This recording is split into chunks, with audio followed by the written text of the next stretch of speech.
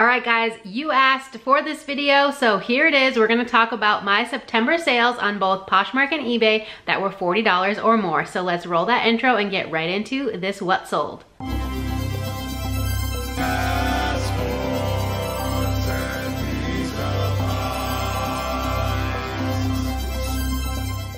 Hey guys, I'm Kay and you've arrived in my weird little corner of the internet. Welcome. If you're new here, I'm a part-time reseller mostly on eBay and Poshmark. I do also sell very infrequently on Depop and I do have an antique booth space in a local antique mall.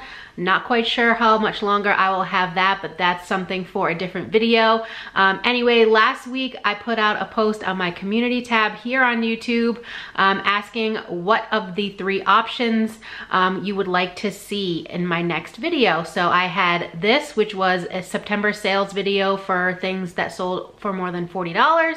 I also had a why I'm not using the Real Real video anymore, which took second place in the voting. You guys will be getting all three of these videos, by the way. Um, just this one is first. And then the third one is a thredUP fun unboxing with my daughter, you know, the way we usually do them on this channel. Um, so this what sold one and that's what you guys are getting. So definitely feel free to leave comments on any of my videos asking for a certain topic. I will do my best to get to them um, if it's something that I think I can reasonably do and put into a video format. Um, so yeah, uh, I made a total of 107 sales on just Poshmark and eBay for the month of September. Um, I only have 15 to talk about today that were $40 or more. That does not include what buyers pay for shipping on eBay. It's just the sales price, so $40 or more. Um, and I have, I think, eight on Posh and seven on eBay. Uh, the month of September for me was the best month since May. Um, so I definitely did experience summer slowdown from, you know, June through August. Not the best for me, but also I'm outside more, doing more things, because, you know, I live in New England, so the weather is only nice for a few months out of the year. Um, so I didn't really devote as much time to reselling as I probably should have uh, to make a little bit more money, but I use this money to travel the world. Me and my daughter travel the world. I'm at five continents right now and just under 30 countries. I think I'm at 29 um, and hers is pretty high too for a 13 year old. So that's what we use this money for. I do have a full-time job that I hate. That's a story for another day. Um, but I've been there for 17 years. I'm in my 18th year now. Um, so yeah, this is just our, what we call our fun money. So sometimes I use it for house renovations, those kinds of things. But if you're into reseller content at all, what solds, thrift hauls, and maybe sometimes a little travel content mixed in there, please consider subscribing. I would love to have you here in my weird little family on the internet. Anyway, let's get back to the what sold. So for the month of September on just the Poshmark and eBay platforms, um, I had $3,351.69 in total sales. Awesome. That's obviously not my profit, but that's okay. Um, average sales price across both platforms was $31.32. Again, I sold 107 items between Poshmark and eBay, and my total profit altogether was 1,974 and 71 cents, just slightly under that $2,000 mark. That's my goal most months, if you didn't know, was to make $2,000 in profit. That's a great little amount for me to keep in my savings. So let's go over Poshmark first because I had the most sales over 40 there. So as I talk about these, you guys will be seeing pictures here. That's kind of why I'm off center on the screen. Um, but the first item we're gonna talk about was this Lulu's Awaken Maxi. It was brand new with tags. I got this in a mini buyout I did with another reseller. She was local to me, local-ish, and um, she moved cross country, didn't wanna take all of her inventory with her. So I got, I think, 14 items and my average cost of goods for all of 14 was about $7. And I sold this maxi dress for $67. Um, great profit for me. I am happy with that. Um, I did that buyout in like the middle of the summer, so about two months or so that the item sat before selling. The next item was a pair of Levi's Wedgie straight jeans. This was a small size, it was a size 24. I paid about $7 for them, I'm pretty sure, and these sold right at $40, so they just barely hit that threshold. The next item was another new with tags piece. It was from designer ALC. I did pay up quite a bit for this. I think it was around 10 to $12. I found it at my honey hole. I originally was going to send this into the Real Real, but because I'm having problems with them and no longer using their services, again, that will be in a separate video. Um, I ended up just trying to sell it myself and it eventually did sell though it took a while because I sourced this I think at the end of last year so end of 2021 but anyway this was called the Jewels. It was 100% silk so a great fabric and new with tags. It sold for $50 paying 10 to $12 for it not the greatest profit but I am happy to move it and not have to deal with the real real the next item is yet another new with tags piece. So of the eight items that sold on Posh for more than $40, um, three of them were new with tags. So that's something to keep in mind. We are now in Q4 because I'm filming this in October and I am trying to pick up more new with tags items um, because pre-owned clothing isn't really the best seller um, you know, for Christmas presents and that stuff. So I do take preference for new tags items around this time of year. This I picked up um, when I went to the garment district. I had the gift card that I wanted to give away from Lori Tata here on YouTube. Um, this store is located in Cambridge, Mass. They have a traditional thrift store at the top. You will pay up for stuff up there. It's very curated, but in the bottom they have a pit that is um, kind of similar to the bins, except it's just a massive mound of clothes on the floor. So you kind of have to step on them or sit down and dig through them. Um, so my cost of goods for this item was actually zero because I had the gift card. But anyway, it was a Revolve piece. Um, not all things from this brand are sold on Revolve. This one just happened to be. This was from BCBG Max Azria. It was called the Sydney dress new with tags like I said and this sold for $50 so the entire profit I think it's $40 after the Poshmark fees went into my bank account. The next item that sold on Poshmark for $40 or more was also sold on Revolve. Again, same situation, not always sold on Revolve. This one just happened to be. This was a pair of um, boots from Frye. These were the Melissa short. The Melissa is a really popular style. Usually I get them in the taller style. I'd never seen them in the short before, um, but these came in a thredUP box. So my cost of goods was probably around $4, $5. Um, it's usually $5.30 if I'm getting the box of 15, which is $80. Um, and I don't use any, you know, credits or anything like that. So these sold for $60. Really happy with that profit. The next item that sold on Poshmark was a pair of Athleta tights. These are the Rainier. I think that's the name of the mountain in Washington State. I'm not quite sure if I'm butchering the name of it, but anyway, they were like a red floral pattern, I'm pretty sure. Uh, I'm not seeing the pictures in front of me. I just have a handy dandy notebook, um, but you guys will be seeing it. Uh, I paid, I think around $4 for these. They were priced pretty low for Athleta at my thrift stores. Usually they know Athleta and Lululemon and they jack up the prices.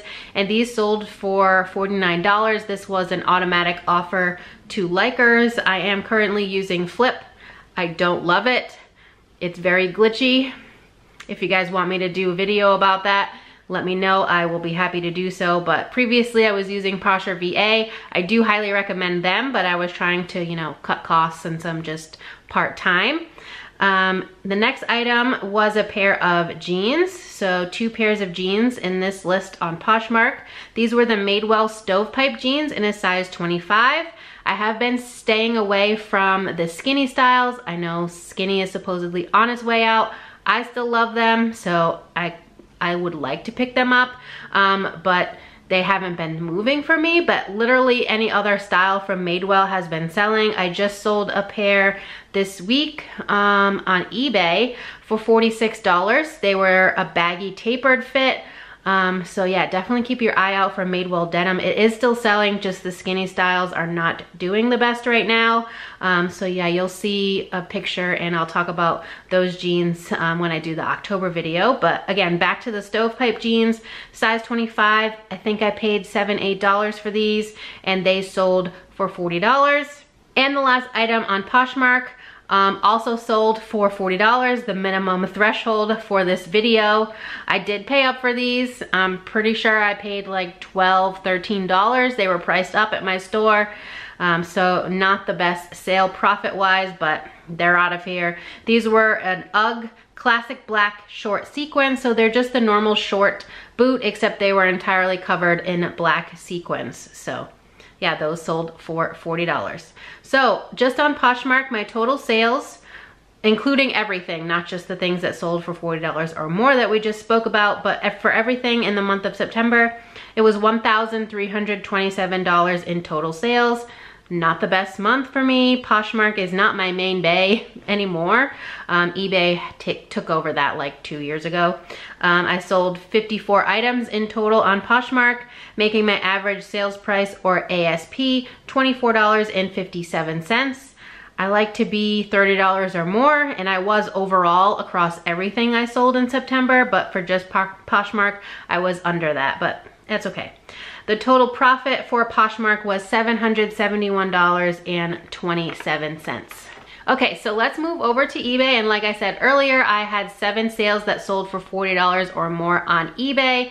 And this does not include what buyers pay for shipping. I do not offer free shipping on my eBay store at all ever. So buyers are always paying a calculated rate for shipping. And I did not include that in what the item sold for. Um, so the first item is a t-shirt I'm pretty sure I showed this in a thrift with me at some point on my channel. I was really surprised by the comps on this because it just looked really unassuming. Um, it was a pink tee and on the front in like a graffiti style spray paint, it said Sus Boy. Um, so it was a Sus Boy and Little Peep collab. Little Peep, I think, is a rapper. I'd never heard of them, but I don't know, the t-shirt I guess looked interesting enough for me to grab it and look up comps and it sold for $60. I'm pretty sure I paid $5 or less for this, so I'm super happy with the $60 sale. The next item is another piece that came from that same mini buyout I talked about on the Poshmark side. Um, so my cost of goods was around $7. This was an activewear brand that I don't find too often, but usually moves pretty fast for me. It's called Varley. This was the Manning ribbed sweatshirt, and this sold for $49. The next item was a brand that I was super excited to find because it was on my reseller BOLO list and I got to check it off. I always love when that happens. Let me know if you can relate down below. It's like the best feeling as a reseller. Um, it didn't have the best comps, um, but I was just so excited to find that brand finally that I didn't really care. I picked it up anyway, and I actually thought it was a blouse, but apparently it's a dress. It's a very mini dress. The brand is Jen's Pirate Booty and this was called the El Matador dress. Super boho, it was like white and gauzy material, um, and this sold for $50. Can't remember what I paid off the top of my head, but I wanna say it was probably $8 or less. Next is another item that I almost sent into the Real Real, but they were a little bit flawed, so I decided to try and list them myself. They did sit for a little bit, but they finally sold for $60.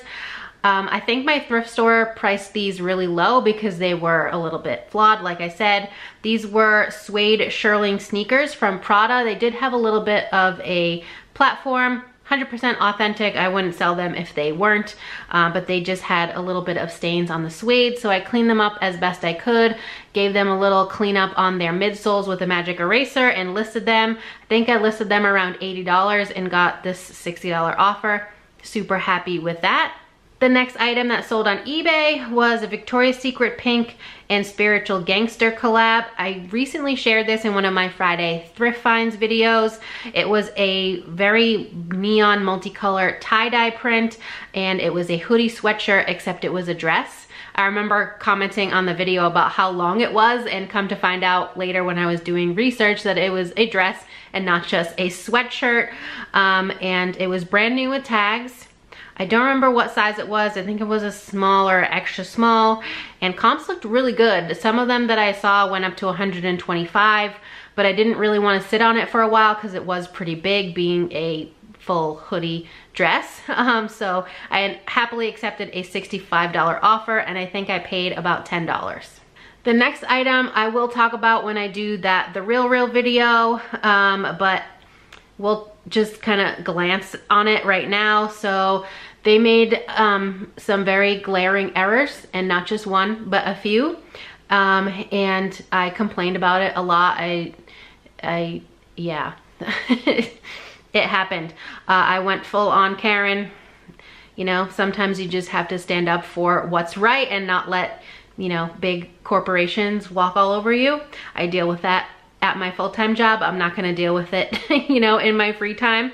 Uh, so I complained and I ended up getting a credit from the Real Rail for all of the issues that happened. Um, and I used that credit to buy, I think like four or five things. My average cost for the four or five things that I purchased, I think is $4.19 because I used all of my credit and then I paid like, I think $25, something like that.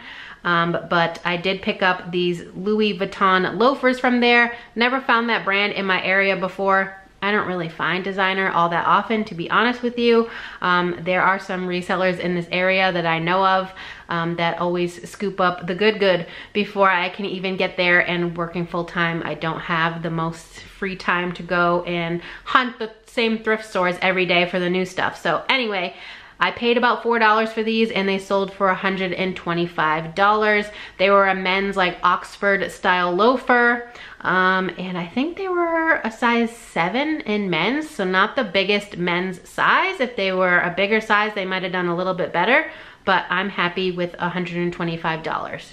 And the last item we're gonna talk about today in this video is another item that will be talked about in a future video, but this one is my goals video.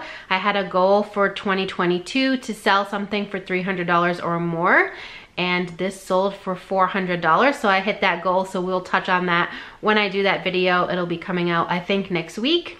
Um, but this was the Canada Goose parka that I got in a thredUP box thredUP came out with a men's designer box. It's $140 for only four items, so they're $35 a piece. I think this is the last one to sell. I'm pretty sure I sold the other three. I got a Prada wool sweater um, that feeds into the issue with the Real Real, one of them anyway. I had a Burberry wool sweater, which I sold, I think on eBay, and I can't remember the fourth item, but I'm pretty sure those I know the two sweaters sold. I can't remember the third one, but I'm pretty sure whatever it was sold. And this is the last one and it sold for $400. This was the Langford parka. It was a men's style, but it was also an extra small, so it could have fit a woman as well. It fit my daughter. I mean, she's a teenager, but I'm pretty sure it could have fit a, you know, an adult woman as well. Um, but so I listed it on Poshmark under both men's and women's, just on eBay under the men's category, and I had it listed for $800, but I really wanted it to move, and I'm pretty sure I got that box you know, at the tail end of winter. So people weren't really searching for such a heavy coat like that.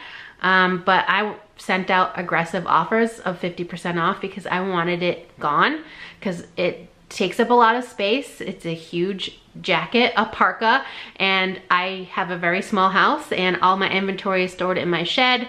I didn't put that Canada Goose in my shed though. It was hanging up in my laundry room and I was tired of looking at it every single day when I went in there to print labels. Uh, so yeah, I sent out an offer, someone accepted it. They're also in New England, which is awesome because it didn't go too far, so shipping wasn't super expensive. Again, I paid $35 and I get to check off that goal on my list. Tick. Last year, my highest sale was a plush that I sold for $250. It was a Build-A-Bear Halloween plush. It was a werewolf and he had like glow in the dark patches on his ears and on his paws and that went to Canada for $250 so I wanted to up that a little bit and I'm happy that I finally get to say that I've sold something you know for more than $250 and this time it wasn't a plush okay so in total on the eBay platform my total sales were $2,024.69 this number does include what buyers pay for shipping. That's just how I record it in my spreadsheet. Um, but when I give you guys the sale prices, I don't include the shipping, if that makes sense. Hopefully it does. Uh, I sold 53 items, so one less than I sold in Poshmark for all of September, making my average sales price, or ASP, $38.20. Um, that obviously means that I sold quite a few of low dollar items because, you know, I had a $400 sale, $125 sales, a couple in the 60s. So yeah, the little dollar sales definitely brought down my ASP. I'm fine with that. It's still money in my pocket. And the total profit on the eBay platform for September was $1,203.44. So yeah, that's everything that I have to share with you guys in this video. I hope it is helpful to see what items are selling for people at this time of year. It's October 2022. This is for September of 2022. Again, I'm part-time, so I don't have as many sales as some other people you might watch on YouTube. Um, but I feel like this gives a, a little bit more of a realistic perspective for someone that isn't full-time.